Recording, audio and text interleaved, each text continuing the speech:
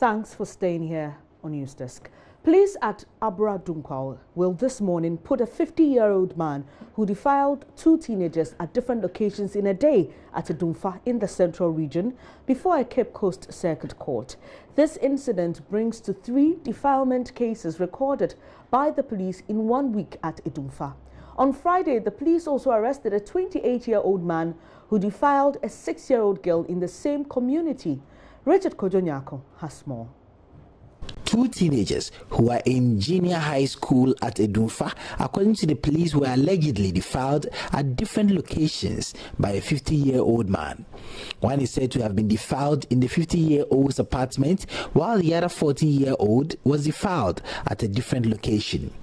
It makes it two crime scenes, two defiled girls, two separate defilement cases, but one suspect. Abura Dunkwa District Police Commander DSP John Paul Akonde tells Joy News medical report of the two and the witnesses in the case will support the charges of the firemen being pressed by the prosecuting police team. Had two ladies who were four within the ages of 14 years to different places, two crime scenes that I'm talking about, and made had how do you call had carnal knowledge of them, which to our uh, how do you call per the law, yes, defilement case are two separate cases but one suspect. And as I speak to you, the person has been remanded into uh, prison custody and investigation is almost done. Also before the court in Cape Coast will be the case of the six-year-old who was defiled by a 28-year-old relative. Richard Kojo Nyarko, Joy News, Cape Coast.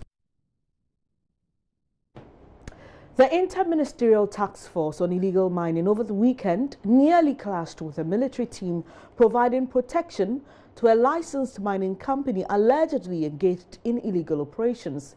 Nawara Mining Company is said to be using alluvial mining methods at Insuaprim in the Fanteakwa district of the Eastern region in a breach of a buffer zone arrangement along River Birim. The soldiers will, however, not allow filming of the arrest and subsequent confusion and attempted to obstruct the work of the task force.